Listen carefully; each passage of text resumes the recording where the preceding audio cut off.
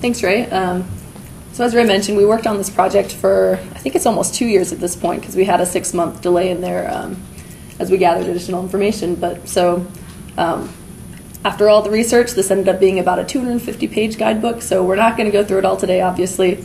Um, this will be a high level summary and just a brief overview, a preview, if you want to say, about you know what will be published later this fall.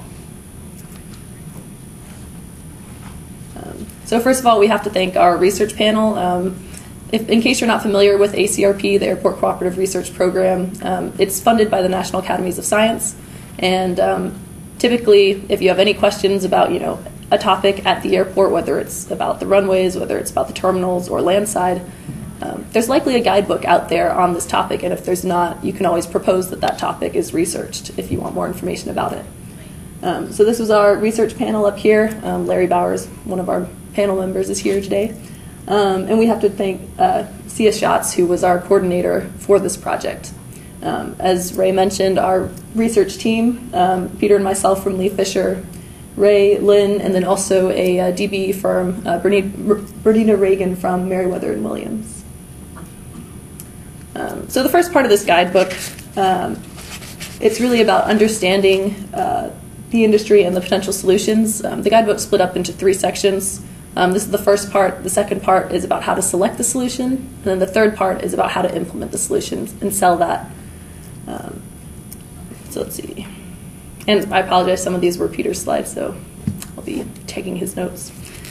Um, so the first section essentially is it's targeted more um, not at the landside managers of the airports, but at those who are either new to ground transportation or for your reference when you're speaking to your upper level management who may not be involved in the day to day operations. So to some of you, it may seem you know very obvious, very um, the common information that you deal with on a day to day basis. But for others who are new to the industry, um, that's the target of this first section, sort of an introduction.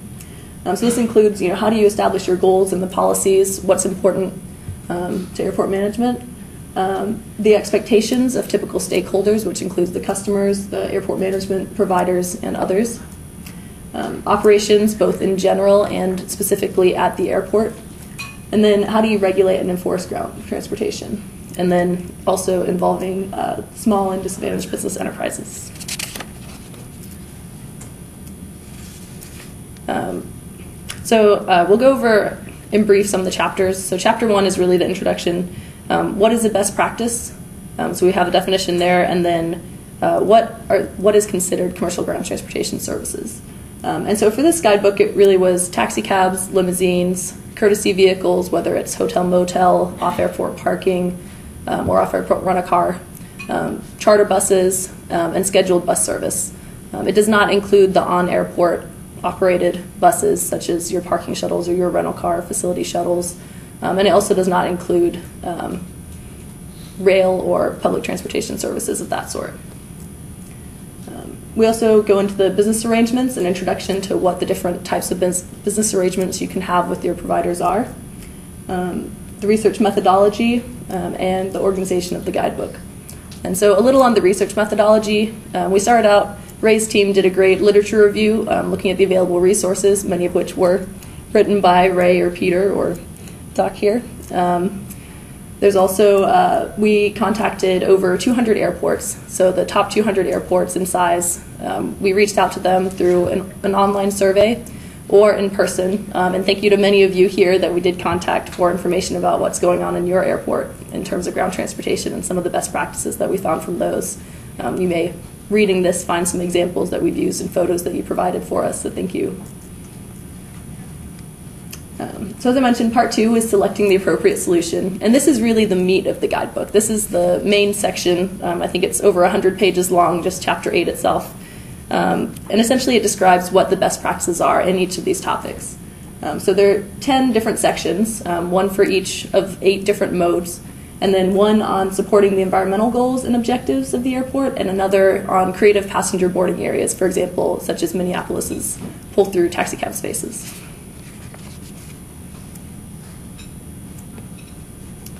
Um, so for each of these best practices, we go through the description of what that best practice is, um, the purpose, what problem are you trying to solve by implementing this best practice, when is this supposed to be applied, Um, we also go into the details of where it would be applicable. Um, the guidebook is really aimed towards airports of all sizes, from the small hubs to the large hubs. Um, but of course, not every solution is applicable to every airport. And we'll talk a little bit more about that in a few minutes. Um, we also looked at the reported benefits from those airports that have implemented these in the past um, or currently have that best practice going on at their airport. Um, and the likely response by the stakeholders. You know, how are the customers going to react to this? Um, will there be political pushback if you try to implement this? Um, you know, how to prepare for this implementation, um, including the challenges as well as the schedule and the cost for implementing these types of practices. And then we also give some examples of airports where these are in place. So this is an example of the taxi cab section. Um, these are all the different best practices. The taxi cab section is the most um, comprehensive. There's more practices and more detail on the taxi cabs than um, any other mode just because of their complexity at the airport.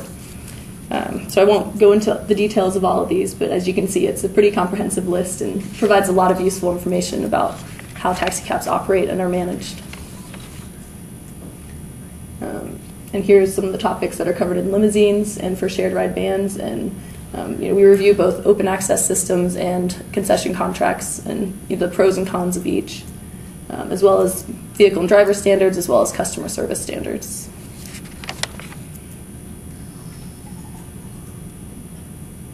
Um, so this next section is on um, selecting the appropriate practice for your airport. Um, so in chapter eight, once we went through the description of each one, at the end of the chapter, um, we also describe how to best select that solution. Um, and there are many different um, considerations at airports, and they differ. Um, so it's important to um, consider the goals of your own airport and your airport management uh, when you're selecting the best practice. Um, some of the charts that are included in here, essentially, it's uh, these five different evaluation measures. So, how does it ex- enhance the experience of the airport customer? Does it minimize required staff time and airport resources? How does it support the airport's regional, environmental, and sustainability objectives? Um, does, it, does it establish an environment that allows drivers to earn a fair wage and for business owners to receive um, a reasonable return on their investments? Um, and does it allow the airport to recover its costs and, to the extent possible, increase those revenues? Um, so here it's a small print, but this is an example of the type of matrix that we have for evaluating these best practices. Um, and as you can see, this table here is specifically for the ability to minimize required staff time. So for each best practice that we have described throughout the guidebook, um, we then rate whether it has a very positive impact, positive, somewhat positive, neutral, somewhat negative, or very negative impact. And this is really to help you if this is one of your important goals is to minimize required staff time and resources, then you can see which of the best practices rank highly in that area. And same thing for the other goals and priorities. Um, so part three is on selling and implementing the solution. So, you know, it's great if you have all the background information, you now know this is what I want to do, but then how do you get that implemented? How do you sell that solution to your upper level management and to your airport board or commission city council members? Um, so Lynn will talk in a minute about supporting technologies that will help implement it, um, and then also um, the further information on um, how to go about that political process and the approval process. Um, we also have um, these appendices. Some of them, as you can see with a star, they're, they'll be available only in the online version. all ACRP reports are both printed and then also available for free on the Airport Cooperative Research Program website. Um, so if you Google ACRP um, airport research, you should be able to find the link and you'll see all the different guidebooks that are available on that website. And these are great resources, whether you're just learning about a new topic or whether you need to share that information and have you know, a reliable handbook to show your management what you've been doing and what other airports have been doing. Um, so now I'll briefly go through um, a summary of some of the introductory chapters. Um, so, chapter two is establishing airport ground tr- transportation goals and policies. Um, so, it's important at the outset when you're trying to implement something new, you want to document what are your goals and the policies in the first place? What are you trying to accomplish? Um, and this will really help guide the rest of the process.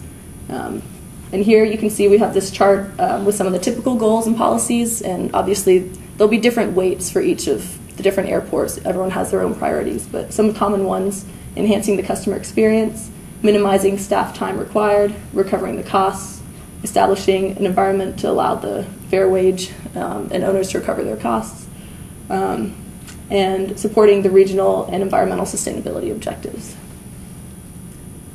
Um, you also need to take into account the considerations of all the different stakeholders at the airport. Um, as we saw from uh, Minneapolis's involvement yesterday, um, there's so many different people that have a stake in the airport and in the decisions that are made. So it's really important to get the input from all of them, and that'll really help with the implementation process later on. Um, so this ranges from, you know, what will the customers think of this? How will airport management react? Local elected officials or commission members, um, the ground transportation service providers, the drivers as well as the owners, um, and also other stakeholders that may be at the airport. Um, chapter 5 focuses on the overall ground transportation operations, how commercial ground transportation is usually implemented. Um, and this ranges from the access processes and controls, um, and I think Lynn will get into more of that detail, but the use of dispatchers and starters, um, RFID and other control technologies, how to manage an oversupply versus an undersupply of taxicabs, um, schedule or headway management for scheduled services. Um, it also looks at the curbside boarding areas, um, you know, what are the operational needs? How do you determine who should be where on the curbside? Um, and what priorities do you have for allocating those? And again, those will be dependent on um, what your specific goals are at the airport. Also, commercial vehicle hold lots. You know, for one, what is the purpose of the hold lot? What are you trying to accomplish? Um, do you want one separate taxi cab staging area, another for other commercial vehicles? Um, what is a typical size and how to select that size? and then what amenities should you provide in the hold lot?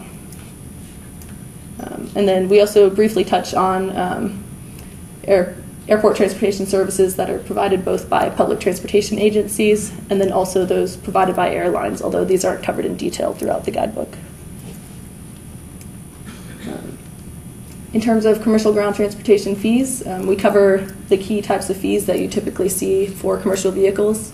Um, these include permit fees, where you charge a fee for the permitting of each vehicle or company um, a cost recovery fee, which you calculate typically on a per trip basis, um, looking at all the costs that um, the airport incurs that um, are attributable to gr- commercial ground transportation sources, and then how do you allocate those across the vehicle trips. You also looked at dwell time fees, privilege fees, and demand management fees. and privilege fees are more for the overall use of the airport um, the benefit that's derived from the airport being there as a whole. And the most common application for this is for off airport parking, uh, where their business could not survive if it weren't for the presence of the entire airport, not just the roadways. Um, we also look at the legal considerations of these commercial ground transportation fees and some potential implementation challenges that airports will likely face when implementing the different types of fees. Um, Chapter 6 covers enforcement of commercial ground transportation services. Um, it goes over the different types of officers. You can have the licensed enforcement officers who are badged police officers. They're able to um, arrest people and um, they have more authority to do so. Um, but there are also traffic control officers, which can be very helpful for non moving violations in terms of issuing tickets and um, encouraging passengers and other vehicles to move along and not dwell on the curbside. Um, there's also the use of contract staff, which is very helpful. Um, if you have limited staff resources, you can hire an outside contractor. Um, the use of mystery shoppers, I know there's some airports that have an extensive mystery shopping program, and these are really helpful in order to really evaluate what is going on and um, have a good idea of how the services are operating. Um, there's also, as we heard from Abu yesterday, you can do focused enforcement or stings, specifically targeting different modes or um, transportation as a whole um, curbside inspections, looking for dented vehicles um, and other um, non-compliance with airport regulations. And then once you have these, you know, what is the airport doing? Is it a fine for each issue? Is it a, a point system? Or what we found is, you know, the most um, effective means is typically if it's a system that involves suspension at some point. Because um, you can pay fines, but if the, the hardest thing for an operator is if they're suspended and that source of revenue is completely shut off to them for a period of time. So that's we found that's typically the most uh, effective enforcement measure. Chapter 7, um, the research was conducted by our um, subconsultant, a DBE, Merriwether and Williams Insurance Services. Um, they looked really at how can you get small and disadvantaged businesses more involved in your commercial ground transportation program. Um, interestingly, um, the ACDBE programs have different definitions than the Small Business Administration in terms of what qualifies as a small business. Um, typically, it's up to $30 million in annual sales, and there's also some you know, personal revenue um, limitations on that as well. Um, but you can see here the Federal Small Business Administration limits um, are much lower at around $14 million. Um, other options for increasing uh, SBE and ACDBE participation also include um, involving brokering policies or um, helping in terms of financing and uh, services. Um, so now I'll turn it over to Lynn to talk about technology.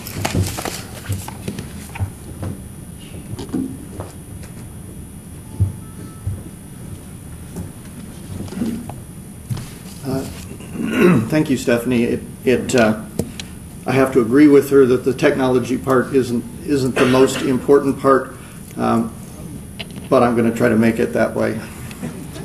Um, we're, going to talk about supporting technologies, and, and I think Stephanie made the point. Um, the technologies really help you implement the goals and objectives that, that you have decided are important for your ground transportation program. In and of itself, uh, they, they really don't provide uh, anything other than a tool to help you accomplish what it is you're, you're setting out to, to accomplish. Um, really, they do a couple of things. I think, in, in the broadest sense, they automate what you uh, find tedious and repetitive um, and just a lot of, of labor intensive things. So, so you can use technology to automate things that you are already doing. The other piece is you can use technology to do things that you could not do um, without a, some type of technology. Most airports would find it, you know, not feasible to try to count the number of commercial vehicles that cross your curb every day um, by category. Now, that's something that's fairly simple for an automated system to do. So you, you have information, you, have, you can complete tasks that you could not do um, without technology. Um, let me say just a bit about my view of, of this chapter. Um, I think this chapter really provides the users with, with options to look at and selection criteria to make those choices. I think, you know, 15 minutes after this was written, um, it's going to become out of date um, from a technology standpoint. Technology just continues to change. So, so it, is, it is difficult to put best practices around different sized airports, technology that changes continuously. So, so I see this as a way for you to take a look at what technologies are available, how to evaluate them, and where they work best, uh, and how to make your selection for, for what works for you. Um, in, in, a, in a larger sense, technologies are aimed at, you know, what takes up your time? How can, how can your time as professionals be put to greater use as opposed to menial tasks or, or routine tasks that, that can be done by somebody else in your organization? So, so these were the kinds of things that, that we heard from people um, over time. You know, you're tracking vehicles and drivers, you're working on compliance issues, you are looking at charges, how to collect the fees that, that you've got, um, how to how to do related responsibilities. It's amazing how many different functions get attached to ground transportation. Um, badging is one that that immediately comes to mind, and you've got accounting issues. Um, so your systems are expanded, and they, they cover more than just what you would typically need to do for ground transportation um, an analysis, and we'll come back to that in a bit. Um, I, you know, we, we saw from Jeff this morning, from Abu yesterday, um, all of the things that, that systems have been developed to track um, and information, and you see that in every one of your airports. There's so much information available, I guess, from a technical standpoint, it's data until somebody can make some use of it. So So your systems are generating lots of data, um, and I think there's an opportunity for, for airports to take greater advantage of merging that data together, um, and we'll see more of that as we go forward. Um, the TNC evolution, um, I don't want to, really don't want to spend much time on TNCs here, but but I suspect that one of the byproducts of of the TNC revolution is, as Autumn said this morning, we, we, we, need to look a little bit farther down the road and and what is what is the impact that that has on your entire system. It has impacts on all of your ground transportation carriers. It has impacts on your curbside. It has impacts on your, your parking revenues. So, so all, you know, not everything that, that we do for TNCs is, um, is just for TNCs. We'll find that useful as you try to manage all of your systems uh, and look at it as a, as a complete system as opposed to individual pieces. Um, a couple of, I guess, sections in here. One goes through um, some of the technology options, um, data capture techniques and, and technologies. Um, and maybe I'll take just a moment to give my answer to, answer to Dr. Cooper's question about, about legacy AVI systems. Um, I will, I will, I guess, uh, posit the, the statement that most of the AVI systems are not legacy systems in the sense that, that they will go away. They will evolve just like everything else. Um, we added license plate recognition and GPS tracking to the data capture techniques uh, in our system about four years ago. Uh, airports have been using those technologies in different ways they suit ground transportation as well. They're not as prevalent, but they are technologies that can produce the same results as RFID. So I think it's our job as technology providers to make sure that our systems don't become obsolete, that they move along with um, the ground, the industry to provide the data that, that you need and to, to react or anticipate uh, the changes that you're going to that you're to see. Um, a couple of things that I think are, um, as an aging baby boomer, surprises to me, um, and you've seen a number of the of the examples of it.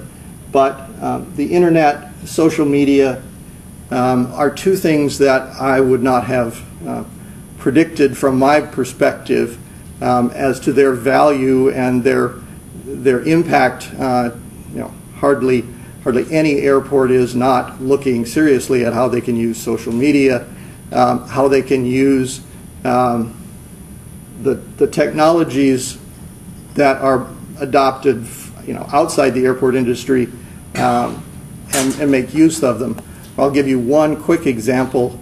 Um, in our own case, we have within Gatekeeper a private Twitter system and it, it was developed and we use it for upgrades and implementations of our systems at airports.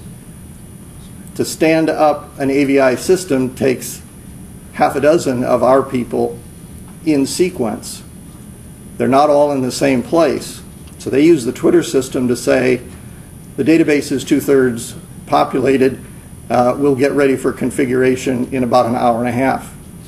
So that conversation goes on in order to make sure that our system gets stood up or uh, updated, whatever.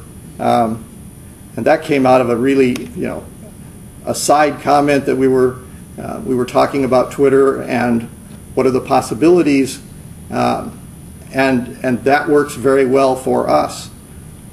That may not work well for you, but those, those technologies have application in a variety of ways, and it's not a straight line to, to know what's obvious. Data mining, I think, is something that we talk about in the report that I think all of you will see much more um, invasive or, or popular in your airports. you've got parking data, you've got aircraft operations, you've got ground transportation data, you've got a variety of data, and the tools are now becoming available to take that data and push it together to answer questions that you would not even conceive that you could come up with an answer. Um, and, and it really it falls back on the airports as, as we talked about before. What are your objectives? What is it you need to know? Uh, you'd be very surprised at what you can find out by taking all that available data and, and asking the right questions and getting it in a form that you can use. I think that is something that will impact all of us um, to, a, to a very large extent.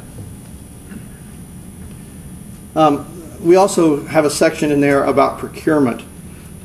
Um, I think I spend about a third of my time talking to airports about the process of implementing technology, how to own it, how to select it. I mean, every one of you has procurement regulations that you have to, to use whenever you purchase technology. Uh, that is changing as well. There are a lot more options out there. Um, cooperative programs, state run programs. There's one state um, that allows a public entity to buy off of a contract that was bid by another public entity uh, to satisfy the public bidding laws. So, so you know, a, a city buys 10 police cars, they, the next city over can buy 10 police cars off of that same contract and, and satisfy the public bidding regulations. So the changes in the way people buy things, uh, software as a service, hosted environments, um, are changing the way you look at obtaining ownership of the technology that you need. Um, because the technology does change, and sometimes the subscription, the pay as you go method is going to become much more prevalent uh, for, for everybody, and I think airports included.